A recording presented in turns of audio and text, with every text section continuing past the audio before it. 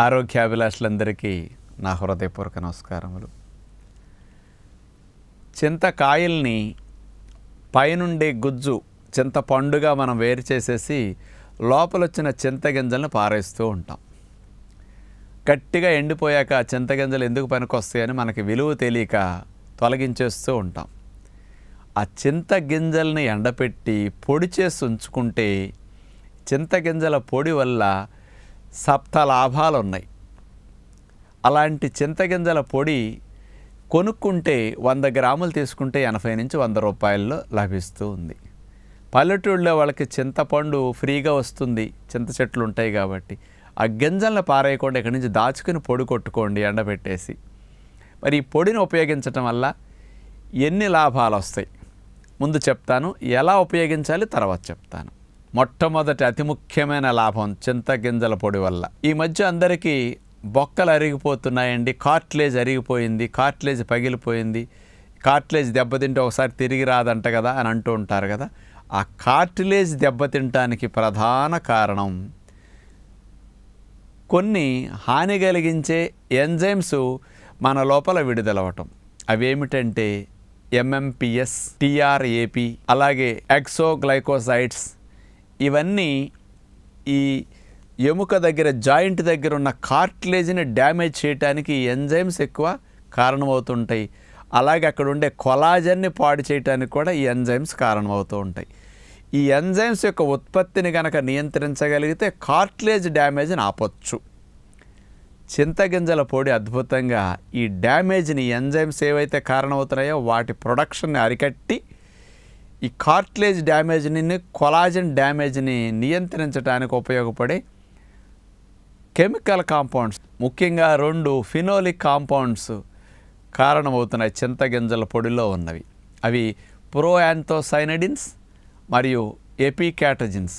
ఈ రెండు చింతగింజల పొడిలో ఉండి ఈ కార్ట్లేజ్ దెబ్బతినకుండా రక్షించటానికి చక్కగా హాని కలిగించే ఎంజైమ్స్ ఏవైతే రిలీజ్ అవుతున్నాయో వాటిని నియంత్రించి కార్ట్లేజ్ని కొలాజన్ని రెండుటిని రక్షించటానికి ఇది చక్కటి మేలు చేస్తుంది అని నిరూపించిన వారు రెండు వేల పదిహేనో సంవత్సరంలో రెండు యూనివర్సిటీలు నిర్వహించినాయి. ఒకటి ఇండియాలోనే యూనివర్సిటీ ఆఫ్ మైసూరు వారు అట్లాగే యూనివర్సిటీ ఆఫ్ మనిసోటా కెనడా వారు. ఈ రెండు యూనివర్సిటీలు ఈ బెనిఫిట్ని ఇస్తున్నాయని స్పెషల్గా నిరూపించడం జరిగింది.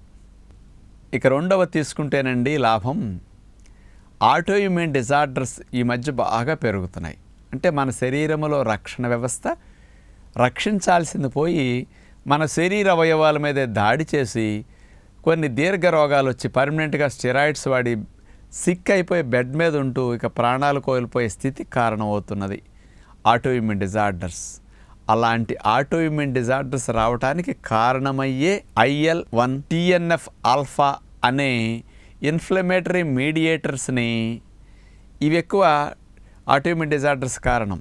వీటిని అరికట్టడానికి చింతగింజల పొడిలో ఇరవై రకాల కెమికల్స్ అలాగే పవర్ఫుల్ యాంటీ ఆక్సిడెంట్స్ పుష్కలంగా ఉండటం వల్ల అటు ట్వంటీ వెరైటీ కెమికల్స్ మరియు యాంటీ ఆక్సిడెంట్స్ ఈ రెండు కలిపి ఈ ఆటోమిన్ డిజార్డర్స్ రాకుండా రక్షించడానికి ఇది స్పెషల్గా చింతగింజల పొడి ఉపయోగపడుతున్నదని దీని వరకు పరిశోధన చేసి ప్రత్యేకంగా నిరూపించిన వారు. రెండు వేల ఐదో సంవత్సరంలో మహిదాల్ యూనివర్సిటీ థాయిలాండ్ దేశం వారు నిరూపించారనమాట అసలు మూడవ అతి ముఖ్యమైన లాభం వింటే మీకు మంచి లాభం అనిపిస్తుంది. మనకి సీజనల్గా అనేక రకాల మొండి జ్వరాలు వస్తుంటాయి. టైఫాయిడ్ కలరా ఇతర వైరల్ ఫీవర్స్ మలేరియా ఇట్లాంటివి అనేకం వస్తుంటాయి కదా.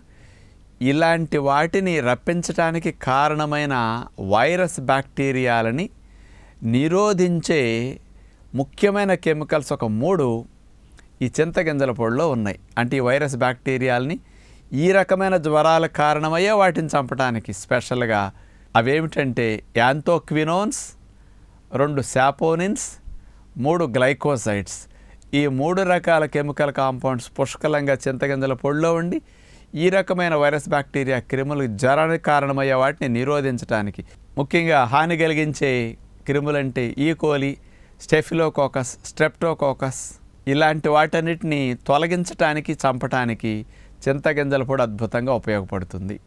ఇక నాలుగవ లాభం చూసుకుంటే చాలామంది అందానికి ఇబ్బంది కలిగించే సమస్య. హైపర్ పిగ్మెంటేషన్ ముఖం మీద మంగు మచ్చలు కానీ చర్మం మీద అక్కడక్కడ బ్లాక్ ప్యాచెస్ కానీ మెడ మీద కానీ ఇట్లా హైపర్ పిగ్మెంటేషన్ కళ్ళ కింద కానీ మెడ మీద కానీ ఇట్లా వచ్చేస్తుంది నుదుటి మీద అతిగా నలుపు వచ్చేస్తుంది. ఈ నలుపు వర్ణానికి కారణం మెలనోసైట్ కణజాలాలు హైపర్ యాక్టివ్ అయి థైరోజినేజ్ అనే ఒక ఎంజైమ్ అతిగా ఉత్పత్తి అయి ఈ నలుపు వర్ణాన్ని మెలనోసైట్స్ కణాలు ఎక్కువ ఉత్పత్తి చేసేస్తాయి అన్నమాట ఈ థైరోజినేజ్ అనే ఎంజైమ్ కనుక కంట్రోల్ చేయగలిగితే నలుపు వర్ణం ఉత్పత్తి ఆ కణాల్లోనే తగ్గిపోతుంది మెలనోసైట్ కణాల్లో. అందుకని చింతగింజల పొడిలో ఉన్న లాభం ఏమిటంటే ఈ హైపర్ పిగ్మెంటేషన్కి కారణమైన థైరోజినేజ్ అనే ఎంజైమ్ని కంట్రోల్ చేసేయటం వల్ల నలుపు వర్ణం ఉత్పత్తి బాగా తగ్గుతుంది. అందుకని పిగ్మెంటేషన్ తగ్గించడానికి ఇది అద్భుతంగా ఉపయోగపడుతుందని ప్రత్యేకంగా పరిశోధన దీని మీద చేసిన వారు రెండు వేల పన్నెండో సంవత్సరంలో cosmetics and natural products research centre Thailand వారు. స్పెషల్గా మరి స్త్రీలకు ఎక్కువ పిగ్మెంటేషన్ ఉండే సమస్యలు ఉన్నప్పుడు బాగా ఉపయోగపడుతుంది. దాన్ని సాన్రాయి మీద చింతగింజలను అరగతీసేసి ఆ పేస్ట్ లేపనం లాగా వస్తుంది కదా. దాన్ని ముఖం మీద మొంగు మచ్చల మీద కళ్ళ కింద నుదుటి మీద మెడ భాగంలో అట్లా రుద్ది మసాజ్ చేసుకుంటే ఈ హైపర్ పిగ్మెంటేషన్ తగ్గడానికి అద్భుతంగా ఉపయోగపడుతుంది ఇంకా ఐదవ లాభం తీసుకుంటే ప్యాంకిరాసి గ్రంథిలో కాల్షియం ఛానల్స్లోనూ మరియు ఎంఆర్ఎన్ఏలోనూ మార్పులు తీసుకొచ్చి బీటా సెల్స్ తక్కువ బీ సెల్స్ నుంచి ఎక్కువ ఇన్సులిన్ ప్రొడ్యూస్ అయ్యేటట్టు చేయడానికి చింతగింజల పొడి అద్భుతంగా ప్యాంకిరాస్ గ్రంథిలో ఆ మార్పులు తీసుకొస్తున్నదట. అందుకని ఇన్సులిన్ తక్కువలోనే ఎక్కువ ఉత్పత్తి అయితే మరి షుగర్ కంట్రోల్ అవ్వటానికి చాలా మంచిది కదా. షుగర్ రాకుండా ఉండటానికి టైప్ వన్ డయాబెటీస్ ఉన్న వారికి కూడా చింతగింజల పొడి చాలా ఉపయోగాన్ని అందిస్తుందని అర్థం చేసుకోవాలి. ఇక ఆరవ లాభం తీసుకుంటే చింతగింజల పొడిని పళ్ళ పొడిలాగా దంతాలు శుభ్రం చేసుకోవడానికి వాడుకోవచ్చు. పళ్ళు తెల్లగా ఉంటాయి గార పట్టనివ్వవు దంతాలు క్షయం కాకుండా దంతక్షయం రాకుండా కూడా రక్షించడానికి చింతగింజల పొడి అట్లా ఉపయోగించుకోవచ్చు. ఏడవది తీసుకుంటే సోర్ త్రోట్ వచ్చిన టాన్సిలైటిస్ వచ్చి ఇబ్బంది పడుతున్నప్పుడు చింతగింజల పొడికి కాస్త అల్లం రసం కొద్దిగా దానికి దాల్చిన చెక్క పొడి కొద్దిగా కలిపేసి మూడుటిని కలిపిన దాని కనుక అట్లా నీళ్ళల్లో కలిపి తాగేస్తే ఈ సోర్ త్రోట్ కానీ త్రోట్ ఇన్ఫెక్షన్స్ వచ్చిన టాన్సిలైటిస్ వచ్చినప్పుడు కూడా ఇది బాగా పనిచేస్తుంది. మరి ఈ ఏడు రకాల లాభాలని చింతకింజల పొడి ద్వారా మనం పొందటానికి అవకాశం ఉందని సైంటిఫిక్గా నిరూపించబడింది కాబట్టి మరి ఎలా వాడుకోవచ్చు?